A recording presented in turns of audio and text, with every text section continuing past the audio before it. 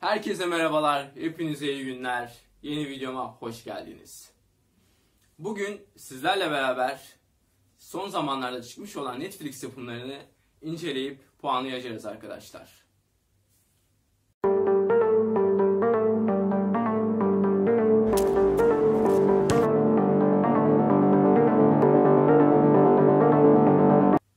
Bugün 3 film, 3 dizi olmak üzere toplam 6 Netflix yapımından bahsedeceğim sizlere arkadaşlar. Hangi sürede hangi dizi filmlerden bahsettiğimi görmek istiyorsanız aşağıda açıklamalar kısmında belirttim arkadaşlar. Oradan da istediğiniz dizi filme gidebilirsiniz direkt. Ve dizi film incelemelerine geçmeden önce şöyle bir şey belirtmek istiyorum. E, kendimce bir puanlama sistemi yaptım. Puanlama sistemi gelsin ekrana. Gördüğünüz gibi böyle bir puanlama sistemi yaptım kendimce. Neden böyle bir puanlama sistemi yaptım derseniz çünkü yani dizi filmler hakkında sohbet ederken, muhabbet ederken böyle söylemlerde bulunuyoruz ve bu söylemler bence dizi film incelemesine, puanlamasına katkı sağlıyor. Ayrı bir eğlence katıyor işin içerisine, ayrı bir renk katıyor. O yüzden kendimce böyle bir şey yaptım ve bu ve bundan sonraki videolarda puanlamamız biraz bu şekilde olacak dizi filmleri. O yüzden bunu da belirtmek istedim. Şimdi videoya geçelim artık. İlk filmimiz 9 kere Leyla. Tam anlamıyla 2020'ye yakışan bir film olan, 2020 kadar kötü olan bir film arkadaşlar. Evet bu film tiyatro oyunundan esinlenerek yapılmış ama keşke yapılmasaydı yani. Evet belki bir tiyatro oyununda izlenebilir bu film bu oyuncularla beraber. Ama yani bir film olarak çok kötüydü arkadaşlar. Onun dışında film komedi ve büyücülük türü içerisinde Netflix'te yayınlandı arkadaşlar. Ama filmde ne bir büyücülükle alakalı bir şey var ne de komediyle alakalı bir şey var yani. Ben filmi izlerken şöyleydim adeta.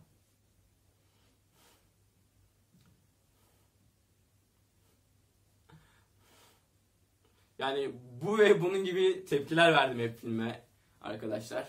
Dediğim gibi filmde yani komedi yapılmaya çalışılmış ama herhangi bir anda bir komedi yok. Yani insanı güldürmüyor, bir seyirciyi güldürmüyor arkadaşlar. Klasik Türk filmindeki el hareketleriyle, yani çok kötü ambulans çarpmasıyla, ne bileyim kötü tiplemelerle komedi yapılmaya çalışılmış ve bu yani artık gitmedi. Hiçbir şekilde kimseyi güldürdüğünü düşünmüyorum ve çok kötüydü bu komedi açısından. Filmin hikayesi de bir çekici değil arkadaşlar yani. Anladık eşini öldürmeye çalışıyorsun kaza sürerek. Ya bunu da çok kötü işlemişsiniz zaten. İşte arkadaşlar film genel olarak işlenişi, konusu, içerdiği tiplemeler, karakterler, oyuncular, Haluk Bilginer bence güzel oynamış ama genel olarak oyuncular içerisinde kötü bir filmdi arkadaşlar. Tek bir iki yanı var. Kostümler diyebilirim ve kullanılan mekanlar güzeldi yani. Ve bir de içerdiği son 5 dakikada çok uzatılarak söylenen sosyal mesaj. Sosyal mesaj güzeldi ama o söylenen sosyal mesaj cümleleri çok uzundu arkadaşlar. O kadar uzun tutmalarına gerek yoktu bence. Benim filme puanım ise listemizdeki en kötü puan olan hayatından 1 saat 52 dakika çaldı oldu arkadaşlar. Santranç oynamayı sever misiniz? Sevseniz de sevmeseniz de bu diziyi kesinlikle izlemelisiniz bence. Dördüncü dizimiz The Queen's Gambit. Evet arkadaşlar bu dizimiz santranç içerikleri içeren santranç temalı bir dizimiz. Dizinin kısa bir konusuna değinirsek Beth Harmon adında bir kızımız var ve bu kızımız 8 yaşında bir yetimhaneye düşüyor. Ve kızımızın bu zamandan sonraki hayatını ve santrançtaki zirveye çıkışını ele alıyor arkadaşlar. Öncelikle dizinin iyi yanlarından bahsetmek istiyorum. Dizinin hikayesi evet çok fazla ilgi çekici değil ama aşırı derecede sizi sürüklüyor arkadaşlar. Ve işleniş tarzı, temposu çok güzeldi cidden arkadaşlar. Sizi alıp sürüklüyor ve birden tüm bölümleri izleyesiniz geliyor cidden. Bazı yerlerde bir tempo düşüklüğü oluyor böyle. Ya burayı kısa tutsalardı, bu bölümü keşke kısa tutsalardı dediğiniz oluyor. Ama genel olarak çok güzel bir temposu ve işlenişi var arkadaşlar. Sizi alıp sürükleyen bir dizi diyebilirim. Dediğim gibi dizide küçük bir kız olan 8 yaşında bir kızımız var ama bu kızın dizi içerisinde büyüme evresini, ergenliğe girme evresini, bir kadın olma evresini çok güzel işlemişler arkadaşlar. Bize de çok güzel yansıtıyorlar bunu. Yani bu kısım aşırı derecede iyiydi ve diziyi mükemmel seviyesine çıkarabilecek unsurlardan biriydi. Dizinin bir diğer güzel yanı ise dizi kadın gücünü yine bize çok güzel gösteriyor arkadaşlar. Ve yine o dönemde de erkeklerin hakim olduğu satranç alanında bir kadının neler yapabileceği, nerelere kadar çıkabileceği, bir dünya şampiyonu haline gelmesini bize gösterdiği için dizi ve bir kadının gücünü yine bize gösterdiği için dizi ekstra ekstra bir güzeldi diyebilirim bu açıdan. De, onun dışında dizide yine dönemin sosyal yapısını, erkeklerin hakim oluş şeklini bize güzel işletmiş, güzel vermiş arkadaşlar. Ve dizinin kostümleri cidden harika arkadaşlar. O 60'lara, o yıllara gittim yani cidden arkadaşlar. Bu ise dizinin ayrı güzel yanlarından birisiydi. Benim diziye puanım ise bunu sonradan birkaç kere daha izlerim oldu. Nasıl yani? Bu evde oturan geçmişteki biriyle mi konuşuyorum?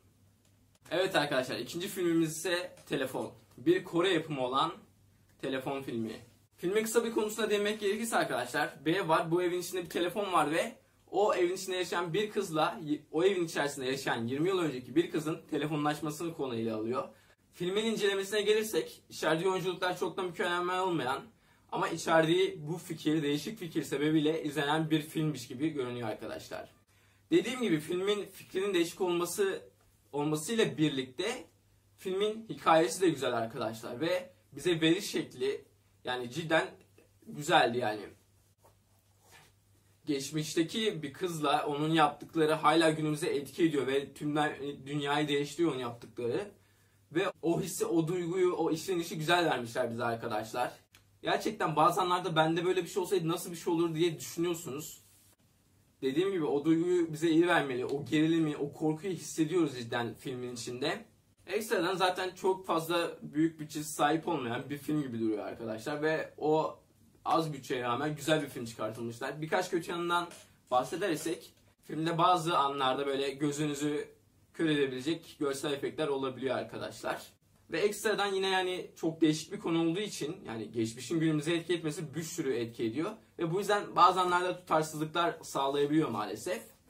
Ya bunlar da birkaç kötü yanıydı ama yani dediğim gibi Netflix'in ortalama bir filmi yani düşük bütçeli bir filme göre gayet güzeldi. Benim filme puanım ise yakın arkadaşıma izlemesi için ısrar ederim oldu arkadaşlar. Kanalıma abone olmayı, videolarıma yorum atıp beğenmeyi unutmayın arkadaşlar. Süleyman sen de işi biliyorsun valla ha. Yani eviriyorsun, çeviriyorsun, işi istediğin yere çaktırmadan getiriyorsun ha. Evet arkadaşlar, diğer bir dizimiz ise Bir Başkadır dizisi.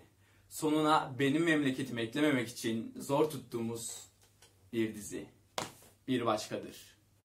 Her şeyiyle mükemmel olan bu dizi, çok kültürlü bir toplumda yetiştiğimizi, çok değişik insanlar olduğumuzu, değişik kültürlerden gelen insanlar olduğumuzu, çok farklı değişik fikirlerimizin, bazılarımızın ön yargıları olduğunu, bazılarımızın değişik sebeplerden dolayı farklı duygular yaşadığını, bir sıkışmışlık içinde kaldığını anlatan, bize anlatan, bizi bizi kullanarak anlatan bir dizi arkadaşlar.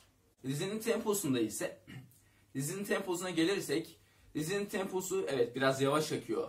Dizi zaten sadece diyaloglardan oluşan, diyaloglar çevresinde gelişen bir dizi arkadaşlar. Normalde bir dizi filmi diyaloglar çevresinde bu kadar çok iyi geliştiremezsiniz yani. Bir olay, bir eylem, bir heyecan olması lazım. Ama bu dizide sadece diyaloglar çevresinde çok güzel gelişiyor. Çünkü neden? O diyalogların hepsi gerçekçi.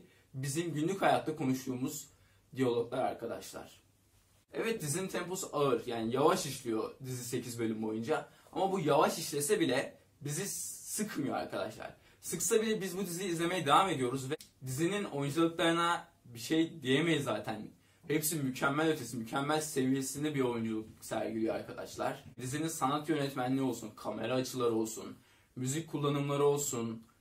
Hepsi bir harikaydı adeta. Bazen dizi hakkında şöyle bir yorum gelebiliyor. Bu dizinin konusu ne? Hikayesi ne yani? Ne yani bu dizi diye bir yorum gelebiliyor. Bunu ben de düşündüm.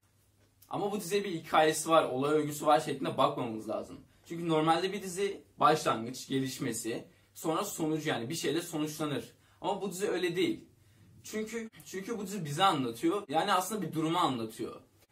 Sadece diyaloglar ile, sakin yavaş tempo ile, bazı zorlamaların olmadığı, sadece güzel yapılması için yapılan bu dizi bize bunlara gösterdiği için teşekkür etmek istiyorum ayrıca. O yüzden bir durum hikayesi de denilebilir bunlar arkadaşlar. Benim bu diziye puanım ise bu diziyi sonradan birkaç kere izlerim oldu. Üçüncü filmimiz ise Kill Bill Elegy. Tam bir aile draması filmi arkadaşlar. Ekstradan film gerçek bir hayattan esinlenerek yazılmış bir film arkadaşlar. Yapılmış bir film. Filmin konusuna değinsek arkadaşlar, filmde bir aile içindeki olabilecek sorunları, mutlulukları, bir aile kavramını anlatmaya çalışıyor bize arkadaşlar. Dediğim gibi filmde aile teması çok güzel derecede vurgulanıyor.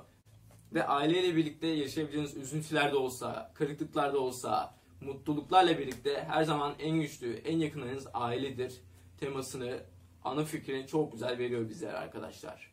Yani filmde filmde şimdiki zaman ve geçmiş zaman şeklinde ilerliyor diyebilirim. Yani şimdi oluşan bir olay var filmde yani ana konumuz, ana işleyen olayımızı ama flashbackler ile geçmişe gidip geliyoruz hep. Ve bu yüzden bu işleniş tarzı filme değişik bir tarz katmış ve bu tarz bence eğlenceli olmuş.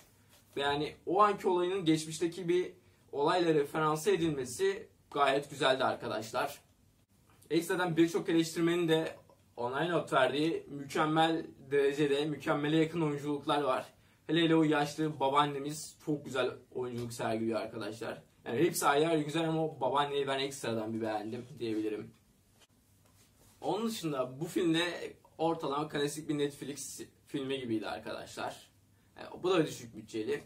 Yani filmin neden aşırı derecede güzel olmamasının, çok üst seviyede güzel olmamasının sebeplerinden biri de bu diyebiliriz. Ekstradan hikayesi evet güzel bir aile draması ama aşırı aşırı ilgi çekici bir hikaye olmadığı için ve yani bu hikayede işlenişi en fazla bu şekilde yapılabilirdi diyorum ve bu yüzden aşırı aşırı derece ilgi çekici bir film değil diyebilirim arkadaşlar. Filmi açın ailenizle izleyin arkadaşlar. Öyle bir film. Ve de içerdiği sadelik ile o ana tema ile gerçekten sizi sürükleyip götürüyor da diyebilirim arkadaşlar. Benim filme puanım ise ortalama çıtır çerezlik bir filmdi oldu arkadaşlar. Son dizimiz ise The Haunting of Bly Manor. Bu dizimiz korku, gizem, gerilim ve bence biraz daha romantik türü içeren bir dizi arkadaşlar. Ve dizimiz önceden çıkmış olan The Haunting of Hill House'la hiçbir alakası olmayan sadece oyuncularının çoğu aynı olan bir dizi arkadaşlar. Yani bir önceki diziyi izlemeseniz de olur. Bu dizide evet korku teması var dedik.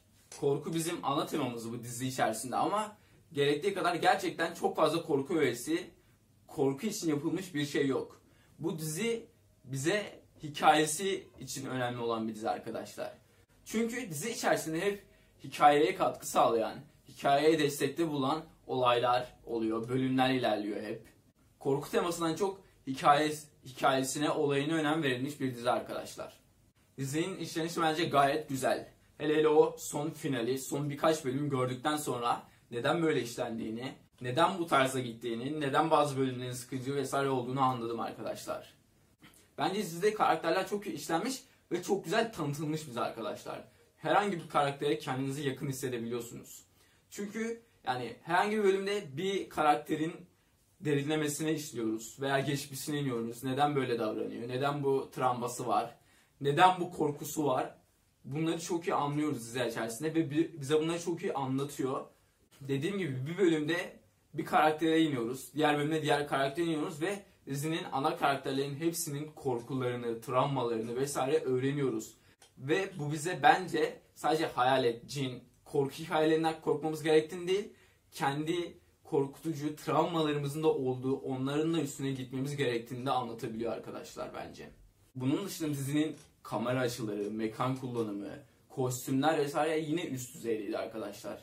Yani sahnenin gerektirdiği gibi, o durumun, o duygunun veriliş şeklinin gerektirdiği gibi kamera açıları kullanılmış, müzikler kullanılmış diyebiliriz arkadaşlar. Tekrardan şunu söylemek istiyorum. Diziyi bazı bölümlerde bırakasınız gelebiliyor. Ama o bitirdikten sonra, o son bölümleri izledikten sonra o verilen, o hissettiğiniz has çok daha güzel olacak ve izlediğinizde bitirdiğinizde pişman olmayacaksınız asla. Hikayesi ziyadesiyle harikulade olan bu diziye benim puanım en yakın arkadaşıma izlemesi için öneririm oldu arkadaşlar. Bugünkü videomuz bu kadardı. Umarım videomu beğenmişsinizdir, keyif almışsınızdır izlerken. Gelecek videoları bekleyin. Sağlıcakla kalın, bizimle kalın, esen kalın.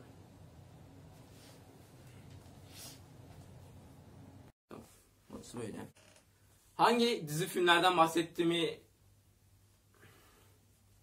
kanalıma Peki o son dakikada 5 dakika Peki o Peki o son ve işteniz